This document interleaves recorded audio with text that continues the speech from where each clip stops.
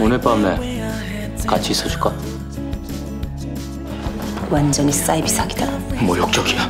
나 속을 생각 말라고 왔어요. 알겠어요? 아, 그래서 사람이면 고맙다고 하는 게 어, 순서 아니야? 아저씨 해친 사람들 벌 받게 할게. 약속해요. 어떻게 해야 인간이 될 수 있어? 신은 질투가 많거든. 김단 소멸될 겁니다.